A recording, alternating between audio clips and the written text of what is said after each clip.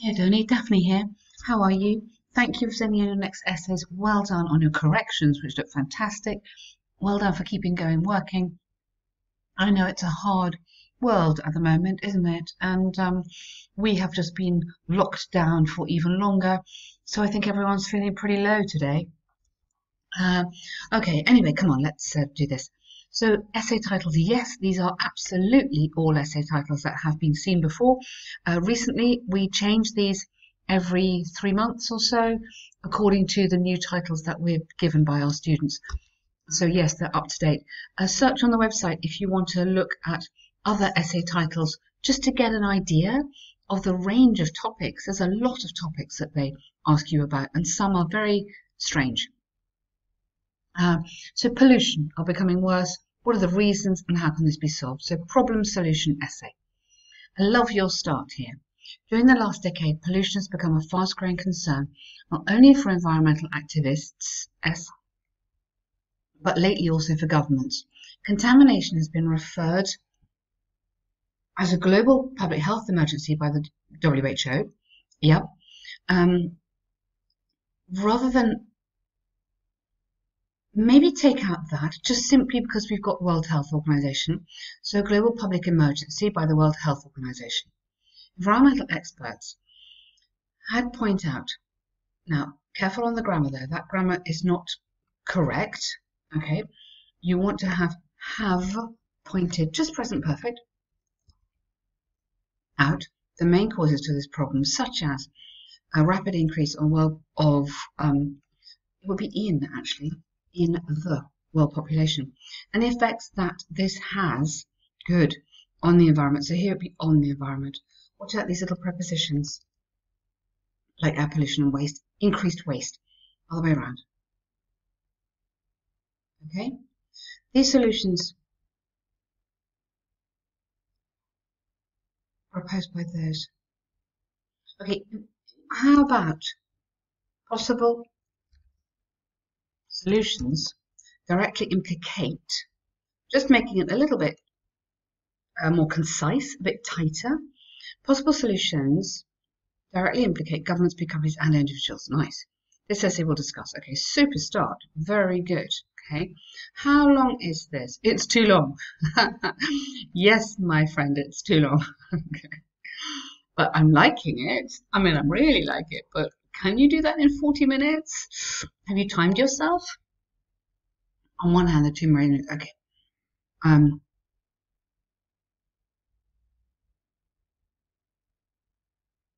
okay, I mean, maybe you could say there are two main reasons. I mean, rather than on the one hand, on the other hand, just go um, just take that out. There are two main reasons. Um, or the first problem is that, something like that. World population has increased, which out on present perfect, check this, dramatically in the last decades, exacerbating the environment. Um, now, again, you can tighten this. Just put the simple word as great environmental resources. You I mean, I know this is in the template, but you don't need to have it, Edurne, because your writing is beautiful. This is really at the beginning when we're trying to organize the essay, but your essay has great shape now. So this is equally good, like almost better because it's very natural. Exacerbating the environment as great environmental resources are needed, are needed, comma, in order to attend the to intend to, we need preposition there, the demands of larger populations. With overcrowded cities, comma, the green areas and parks are reduced, and those spaces are taken by private cars and buildings, uh, creating air toxicity. Good. Okay. Or, so you could have here, additionally, contamination created by large industries that do not have contamination is created. So here, present perfect. Watch out on present perfect. This, oh, so on. This is passive. Okay. This is present passive is created by, but the other is used with the present perfect. So good, nice one on the passive there. For example, many environmental activists had accused the farming industry to be one of the main resources that create land and air toxicity, caused by dumping their waste, don't need that, directly into rivers or land. Knowing that overcrowded cities and large um, um, you don't need that sentence at all. It doesn't quite work. Okay, I, I just take it out because you wouldn't have let's analyze. Yeah, that would be a bit strange. On the other hand, environmental issues. Okay, okay, so such environmental. Okay, it's not really on the one hand, on the other hand, is it? There, this is bothering me a bit because that's okay for advantages, disadvantages. Problem solution is a bit different. So I would start, there are two main reasons. Take out that. And then put how, so here, um, however, because you're becoming a bit more positive, however, issues that the world faces today, or is facing today, no, you're good, could only be tackled by, be tackled, passive again. This is an infinitive passive, by cutting levels Yes, well done. Okay, so, and your beginning, start with, there are two main reasons for the problem. Okay, let's put this in uh, no, green. Okay, and then, however, so come into this for your solutions. Okay. This can be done when governments across the world create new policies to regulate air toxicity and waste disposal. Disposal.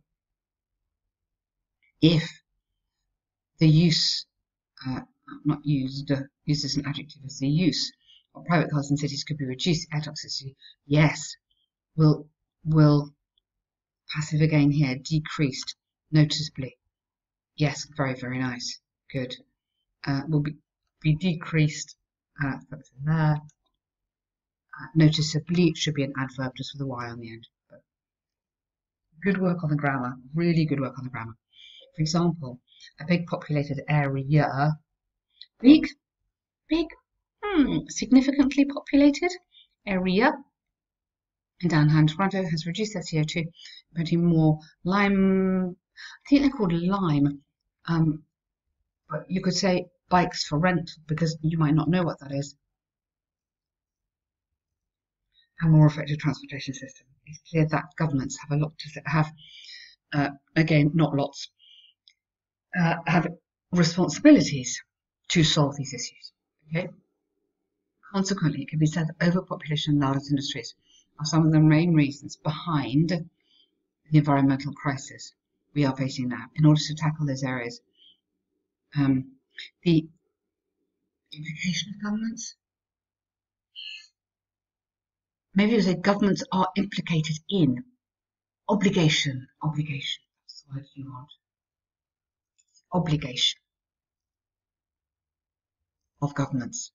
Okay, if yes, well done. Now, and if they create, yes, will be reduced, or because you've had the first conditional before, if they created, it would be. Yeah, so then you're showing second conditional with the past tense there, which just adds a bit of variety. Super work on the grammar really, really good effort on that. I really noticed a huge improvement there. Well done. Watch out for um, your present perfects, okay? Watch out for those because that is quite important. So here we go. Bar graph shows the sale for three different car brands, Ford, Audi, BMW in nine different countries. Perfect. In 2018, Hungary was the country with the most sales. Lovely. Uh, almost at four. You can just write it like this. It's okay the three brands, followed by France. Germany and had similar amounts of sales. Yep, Belgium were the countries that hmm, less. Belgian, what did it say? Belgians and Italians were the countries where consumers purchased less cars. Yeah, so change it from the name of the country to the name of the people. Otherwise, very nice. Uh, Um, France, Hungary, Germany, and Ireland had similar market for sales of BMW, spelling cars, um, at just over, whereas Germany and Hungary, um, so past tense here, um, Germany and Hungary, rather than have all the time, witness is a good word, registered, uh, or recorded Write down those words for task one because they're really useful for most of the essays actually, rather than had or showed. Similar sales on Audi. Hungary? Um, I wouldn't use appears because you're going into the present tense there. So, um, so what do you have here? While Hungary had equal sales for both brands, in contrast, most cars sold in Belgium and Ford um, uh, okay, while, so link this together. So Hungary, um, okay, well, Hungary appeared to have equal sales for each brand, comma, in contrast, most cars sold in Belgium were Ford, okay, comma, whereas in Italy, they were BMW. So we could make a lovely sentence in here, adding in, uh, I'm using these words, while, and then whereas, and in contrast. So make sure you, again, you must use these words because that helps you on the coherence and it just joins the uh, your data together. In contraposition, uh, where, here you have to where, the less popular, less or least. Okay. Overall,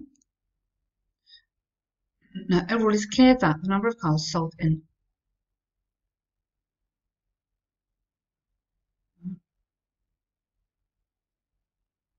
literally you could have clear that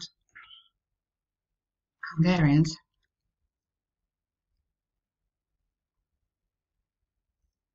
purchased the highest cars whereas Belgians um, the least. Something very simple. you don't need to do any more than that. You've done a very good job there. It's really clear. Well done. Just try and add in that kind of good language because that's kind of what we're looking for. And also comments like uh, sales of uh, uh, Audi in the UK were three times or four times lower than those in Hungary. Uh, make your comparisons between these little things as well, where you've got an obvious contrast. Okay, uh, so three times higher than those of somewhere. Okay, but otherwise, super good work. Well done. I will send you a link to the speaking. It's really fun. Okay, thanks.